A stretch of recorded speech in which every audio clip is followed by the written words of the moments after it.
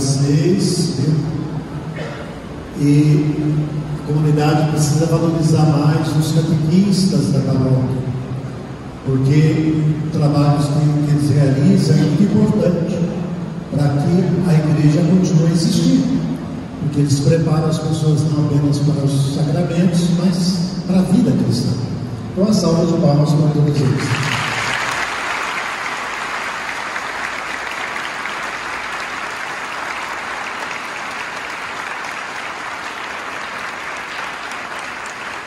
Muito bem.